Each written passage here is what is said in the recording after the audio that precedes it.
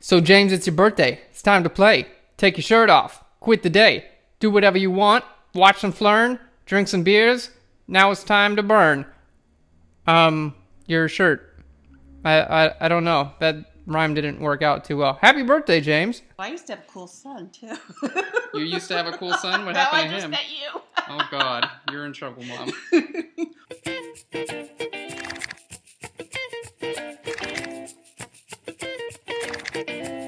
What a pair. Guys, welcome to Phlearn. This is part two on taking an old photo. It's only 27 years old, though.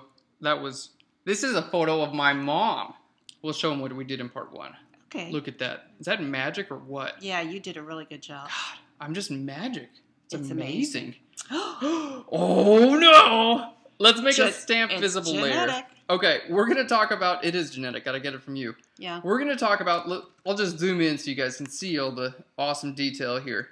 You look like such a cool kid. Oh, I do. See, I can still do the eyebrow thing. What does that say? I fly. See, I live I can in do a the plane. eyebrow thing. Oh, that's very good. Yeah. You're like smizing, like Tara Banks, Tyra Banks, Tara Banks, whoever. Tyra. Yeah. we're going to be fixing all this creases up. So the best thing to do when you have this sort of thing, guys, is you want to rely on things like the patch tool, the healing brush tool, and the clone stamp tool. Now here's the difference between the three. The clone stamp tool just makes a direct copy of whatever you are sampling. So it's going to just sample this and do it directly.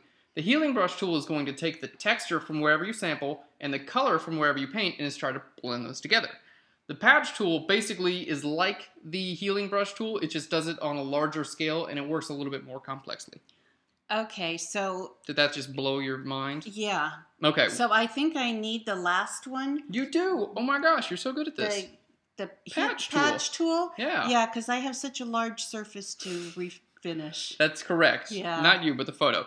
So the patch tool, guys, if you are using the patch tool, make sure you do it on a stamp visible layer because it will not work on a blank layer. That's not that Will bad. Will it work on my arm It will work on your arm. in real life? Yep. Oh, Shift. Option, Command, E. That's going to make a stamp visible layer. You can do that on your arm. Just hit Shift, Option, Command, E on your arm too. There we go. Oh, perfect. See?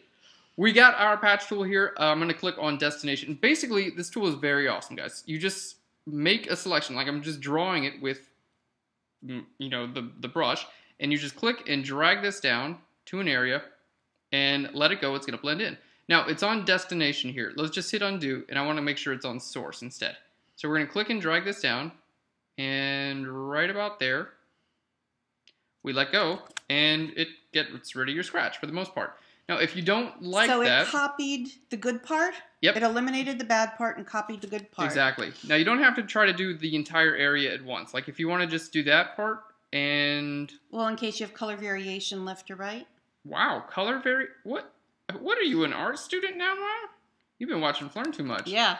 Jeez, color. You're making me look bad here.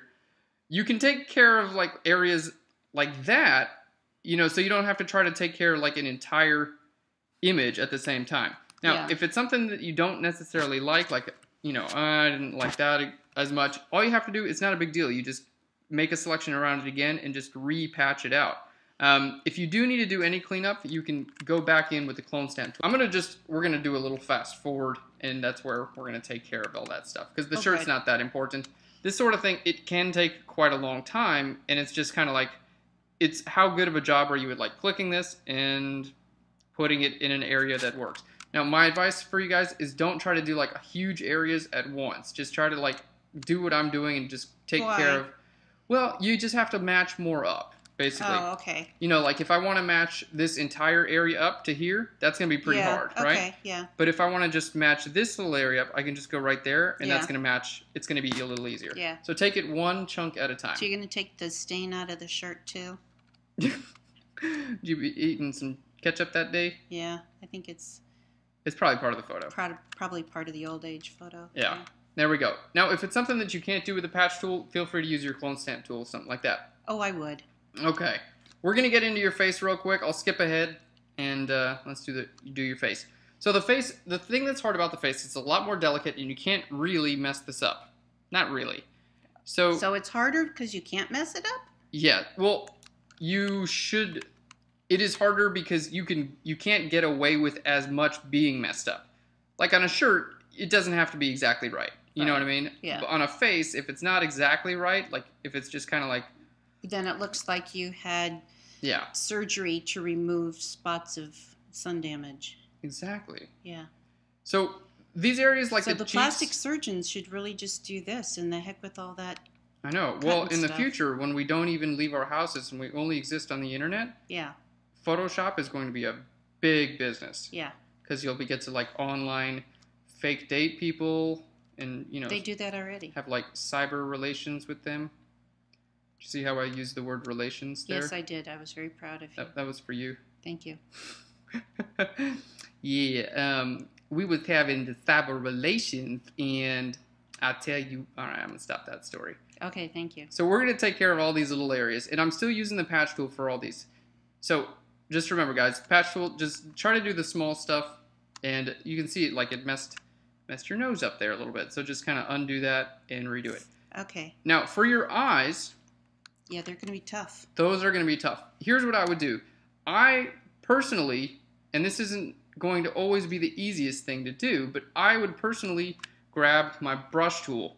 And then with the brush tool, we can kind of paint in there the detail that we want. And then if we need any more texture on that, we could add more texture later with like a with the patch tool or with a clone stamp tool or a healing brush tool, something like that.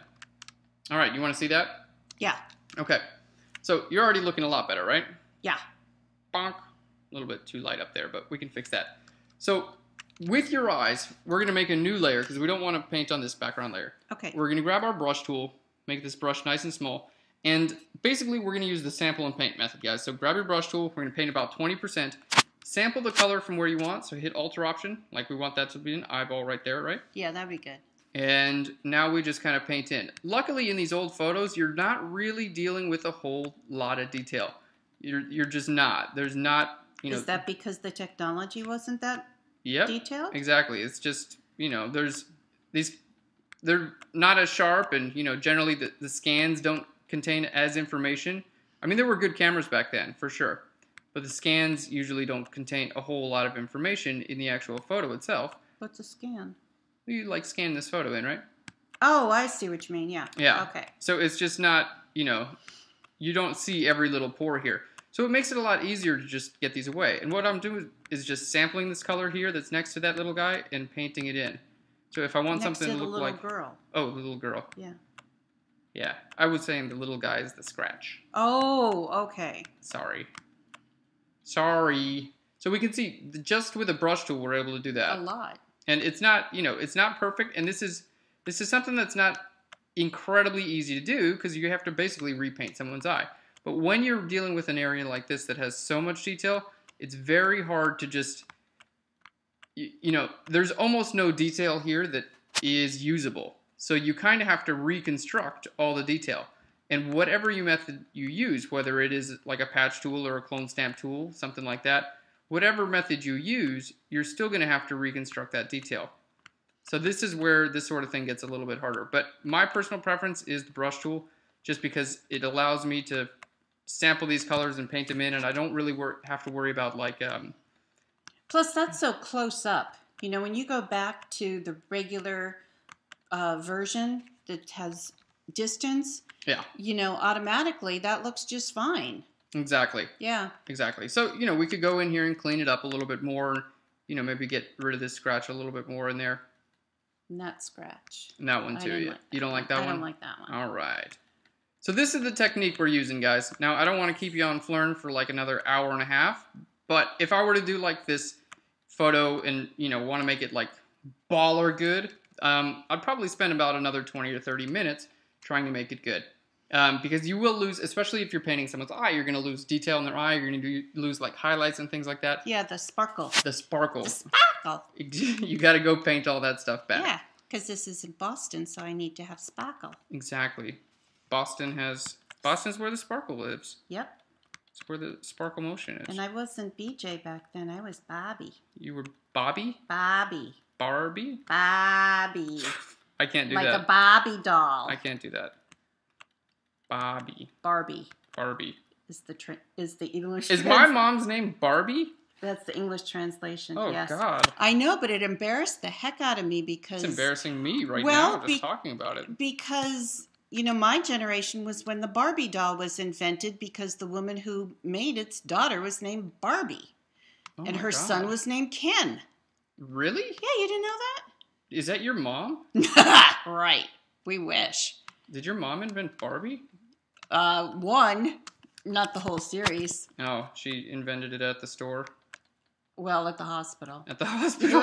okay, that works. Yeah. So if you guys remember from episode one, we basically this area we, we used with the patch tool. Now I'm going back in here and just cleaning it up with the clone stamp tool because the clone stamp tool is just going to work a little bit better to get that edge. Yeah, you need the edge. Yeah, if you don't have the edge, you don't have anything really.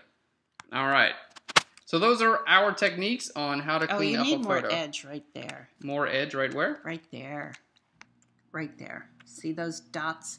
You gotta. Yeah. There you go. There we go. Now we got the edge we want. Yeah. The edge we desire. So oh, we're so edgy. we're looking pretty good, right? I mean, we have this right up there Oh, and I that always there. did look good. I just had creases. That's true.